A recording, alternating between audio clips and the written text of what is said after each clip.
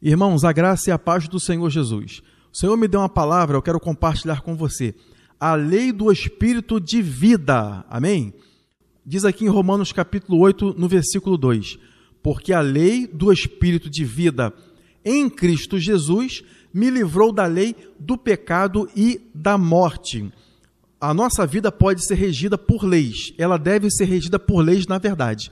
No Antigo Testamento, as pessoas, para servirem a Deus, para andarem de acordo com a vontade de Deus, elas tinham que obedecer à lei, os mandamentos. Não eram apenas aqueles dez mandamentos.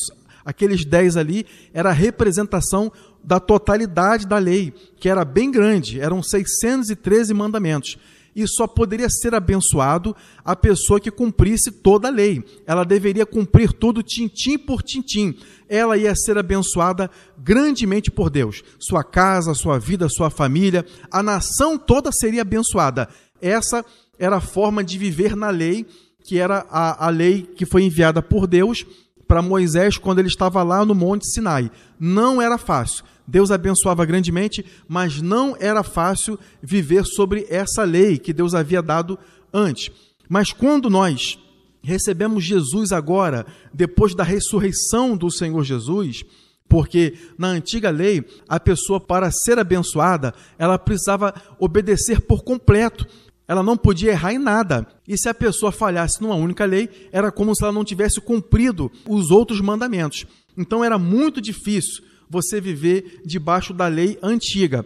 Mas agora, com o derramamento do Espírito Santo, quando nós cremos no Senhor Jesus e nós nos rendemos ao Senhor Jesus, nos rendemos ao Espírito Santo e deixamos o Espírito Santo assumir o controle, o Espírito Santo vem, domina as nossas vidas, você se rende a ele e agora passa a ser a lei do quê?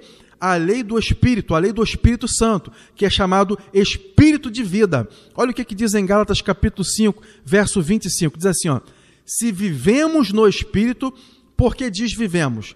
Porque quando você aceitou Jesus como seu Salvador, você passou a ser gerado pelo Espírito, então você tem a sua vida por causa do Espírito Santo e por causa da palavra de Deus. Por isso que a Bíblia fala: se vivemos no Espírito, andemos também no Espírito a maioria dos crentes, todo crente verdadeiro, ele vive no espírito, quer dizer, ele nasceu no espírito, mas nem todos andam no espírito, você está entendendo? Elas se deixam ser controladas pelo Espírito de Deus. Mas o apóstolo Paulo diz aqui, ó, se vivemos no espírito, que nós andemos também no Espírito. Peça agora mesmo para Deus, Senhor, me ajuda, Senhor, eu quero andar no Espírito. Não quero apenas viver no Espírito.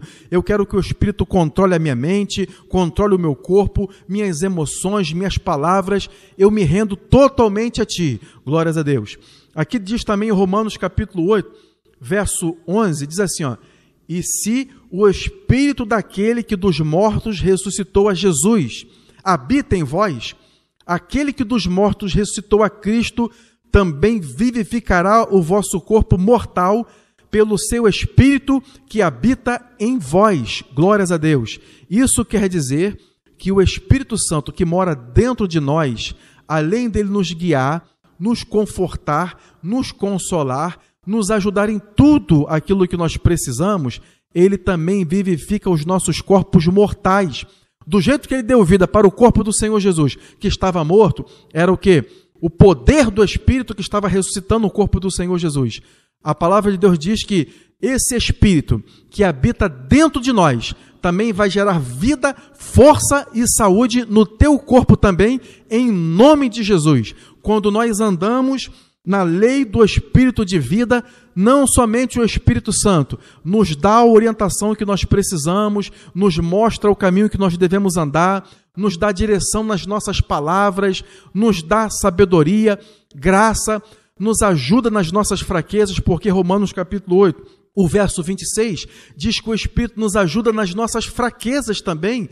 Então, naquilo que você não consegue fazer da forma correta, o Espírito Santo vai te ajudar. Também o Espírito Santo no teu corpo, meu irmão, minha irmã.